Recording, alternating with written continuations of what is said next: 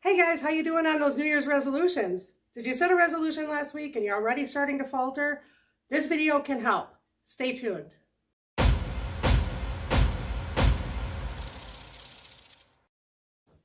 Okay, so first things first, don't beat yourself up if this is what's happening to you. It's normal. You know, we all eat a salad and then the next day when we don't lose five pounds, we're wondering what the hell is wrong with us and we give up. Okay, that's, you're not alone in that. um, secondly, hopefully what we're going to talk about today can help a little bit, at least keep you to stay on track and not give up so easily. What we're going to talk about is SMART goals. SMART goals are something I'm sure you've heard about. Everybody's talking about them uh, because they work, right? They've been evidence-based to work. And SMART goals are something that I'm going to help you set and help you try to make a more realistic um, resolution or goal for yourself so that it's easier to stick to. Okay, so you might want to grab a pen and paper because to keep notes on this is actually probably a really good thing because as much as it seems like it's second nature or really kind of obvious, it really isn't. It goes against everything that we as human beings like to do. We like to set huge, large goals of, you know, I'm going to be a millionaire or, you know, whatever it is. And we don't understand that bringing it down and dumbing it down into something very small is actually a better way to do things. So grab a pen and paper. We're going to go through what a SMART goal is, how to write one, and how to keep one, okay? So SMART is an acronym for a goal. So what we're going to do is go through this one at a time, and then we'll talk about each one. S is for specific. M, measurable. A, achievable. R, relevant. And T, time-bound. S, specific. I don't know about you, but this is where I get hung up. I always want to say, well, I'll eat healthier, or I'll lose weight, or I'll get more fit, or I'll exercise more. Do these sound familiar? Okay, so this is where the SMART goal is really, really effective, I think, personally. You want to take this large goal of, I want to lose weight. And I'm going to use that one because it seems to be, unfortunately, for most of us, the most relevant one as women anyway. Um, so I want to lose weight. That's not specific at all, right? I could lose, you know, a half a pound by not drinking as much water tomorrow as I do today. That's not really what I mean when I say I want to lose weight, right? I mean, I want to look better. I want to feel better. I want to get my cholesterol levels, you know, right. I want to get my triglycerides down, whatever it is. There's a very specific reason.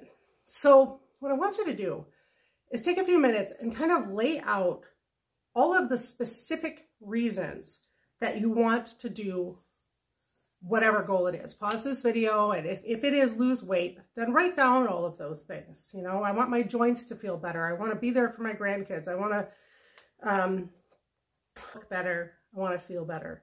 Whatever those are, write those all out. And then choose one. Choose the most relevant one for you that you think is the real priority of a reason that you want to lose weight. And I'll see you back here. Okay, M, measurable. this is another tough one. I think, you know, a lot of us feel like we are measuring our goals. We're, you know, keeping food logs or, um, you know, we're journaling every day or we're writing something on the calendar. But what I have come to find out, find out after like six years of trying to do this kind of stuff is I wasn't really, really keeping track of stuff. Um, so I think one of the challenges here is how do you measure it, right? And so what I want to help you do is whatever your specific goal is, let's say you want to feel better if you lose weight. That's not a that's not a specific goal and that's not measurable. Um, it might seem like it. You it might seem like okay my my specific goal is i want to feel better and i can measure that by keeping track of how i feel every day the problem is it doesn't really work we really have to get super super specific down to i want to feel like I did two years ago. And what does that mean? What does that, I want to feel like I did two years ago. Well, two years ago, I felt like I had more energy. Okay, so now we're down to the, the specific goal is I want to have more energy. Okay, so that might work. It, it, it's even better to go more specific than that. But if we try, you know, I want to have more energy, then the measurement for that would be how much did you get done that day? Like how many cups of coffee did you drink? You know, something to that effect. And again, if you message me or you comment on this video, I can try to help you kind of put these in, into practice and kind of write them because it's a little difficult the first couple times you do it. But the good news is as you start using SMART Goal um, technology, if you will, um, it'll get easier and easier. But we want it to be measurable. So if you do something like your triglycerides or high cholesterol or your blood pressure, obviously those are way easier, right? You, you take your blood pressure every day and you can measure whether or not what you're doing is helping to achieve that goal. So again, the more specific you get, the easier it will be to measure that. And I would highly suggest that, you know, with the, the I want to lose weight, part of the problem with that, that, that overall goal is, of course, the only way to measure that is on a scale, and, and that is not accurate. And we all know that, but we still do it, right? We still get on that scale and, oh, you know, I'm a failure because I didn't lose two pounds this week or whatever. And that's just not accurate, especially if you're doing um, toning and weight training at all. Even if you're just using five pound dumbbells, you're still building muscle and exchanging those fat cells for muscle cells. And therefore a weight measurement is not a good indicator of that. So I would highly suggest that your SMART goal come way, way down specific and it's not anything to do with losing weight and measuring that with a scale. A, achievable. This is another one I think we get hung up on a lot where, you know, we see somebody at a higher fitness level achieving what we want to achieve, or we see someone with a, a larger following, let's say on YouTube, achieving what we want to achieve. And we think we can do that too, you know, and we're kind of born out of that. I don't know about the younger generations, but at least for my generation and older, you know, we were told to pull yourself up by your bootstraps and you can be anything you want to be, you know. All you have to do is work hard. And that's true to some degree. However, I want to caution you to start where you are. Um, I know that it has taken me over six years of pretty concerted effort to get where I am today. And I'm not where I want to be yet. I'm, I'm very, very close, but um, it has been a lot of trial and error. It has been a lot of small, smart goals. It has been a lot of two steps forward, one step back.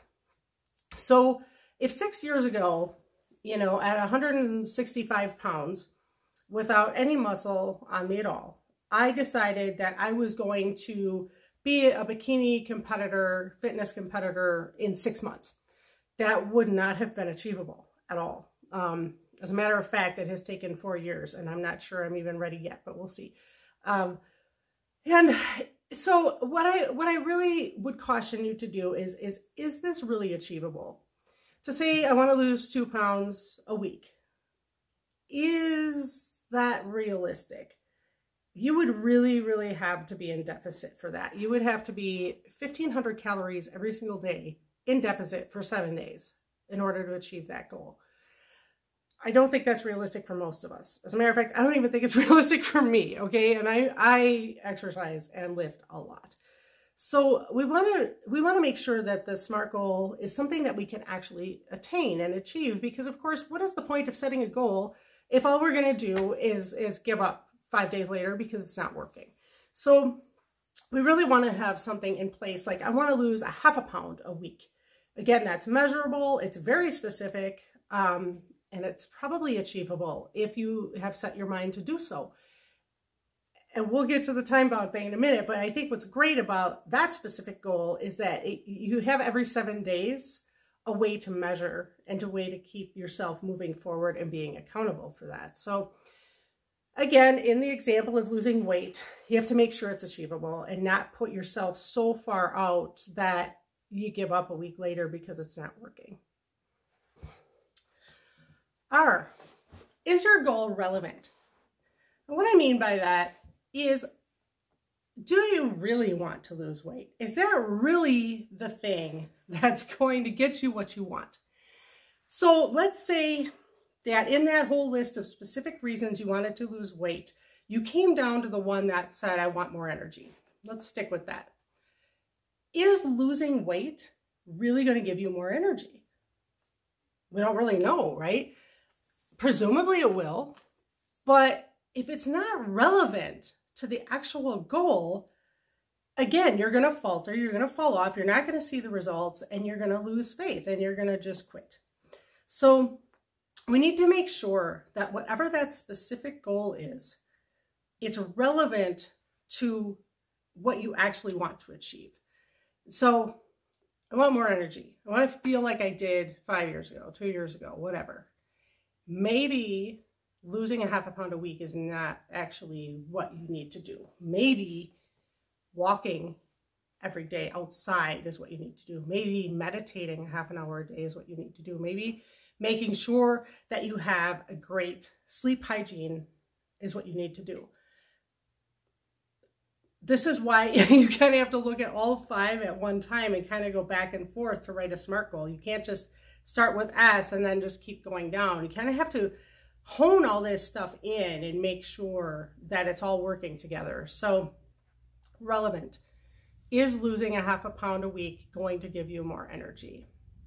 Maybe or maybe not, but maybe there's something else that you feel you know works that you've tried before, like I said, sleep hygiene or um, swimming, or you know, there's there might be something which then goes all the way back up to S, which is I will swim, you know, twice a week, or I will make a, a sleep hygiene schedule, or, or something like that. So again, they all have to work together. And if your goal isn't relevant to what your actual outcome, achieve desired outcome is, then you're not going to stick to it. T, time bound. I think that this is probably the most important letter in the SMART goal acronym because if we don't have a deadline, um, we kind of just kind of, you know, we're, we're a cork bobbing on the ocean. We have no idea if we're achieving our goal, how we're achieving our goal, um, when we're going to achieve our goal, if ever. And so, time bound. And, and this is really important. You can't say, I want to lose weight in the next year, right? In 2022, I'm going to journal more. Well, what does that mean? I mean, we're talking 12 months here. Are you actually going to stick to that schedule in July when all the festivals are going on and it's nice out and you want to go to the beach? No, absolutely not.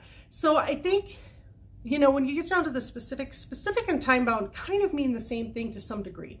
And what I mean by that is you want to have a, a very specific, I will journal once a week for the next 12 months, for the next 52 weeks.